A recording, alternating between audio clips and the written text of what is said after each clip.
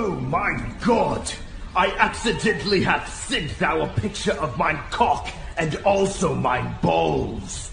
Prithee delete it, lest thou desire to look.